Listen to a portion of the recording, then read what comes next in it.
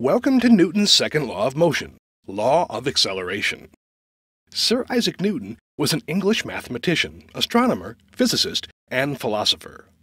As we learned in the first law video, Newton's revolutionary work during the late 1600s set the stage for how today's scientists understand the physical universe.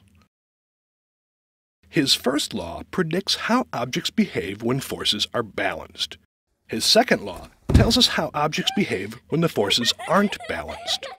The acceleration of an object is directly proportional to the net force and inversely proportional to its mass. The second law is dependent on two variables, the net force in action and the object's mass. As the force increases, so does the object's acceleration, and vice versa. Also, as the object's mass increases, the acceleration decreases, and vice versa. Back to our apple orchard. Newton's second law gives us the relationship between the size of the force and the resulting acceleration. If your little brother throws one apple in the orchard, it goes this far.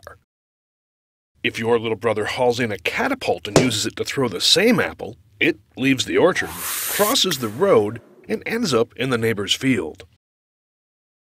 The catapult uses a much larger net force to apply more acceleration to the apple and send it flying farther.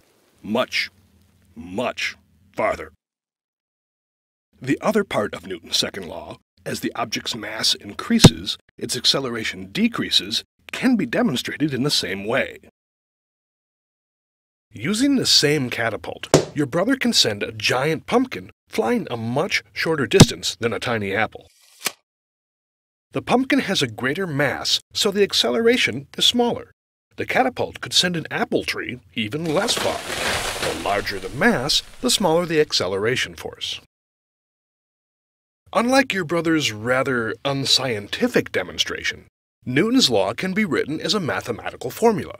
Combining the effects of net force, mass, and acceleration turns into Acceleration equals net force divided by mass, or net force equals mass times acceleration.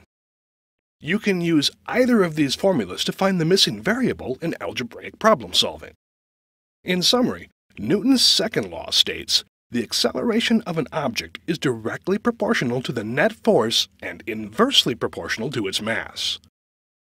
Now, find out how your little brother got hold of a catapult. Newton's second law, the law of acceleration.